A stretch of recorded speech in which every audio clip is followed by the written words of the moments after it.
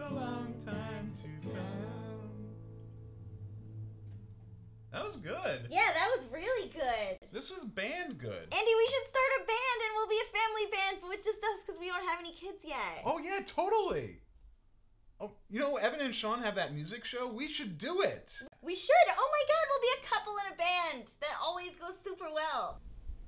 I'll email them. Okay. Oh shit. You know that show is tonight.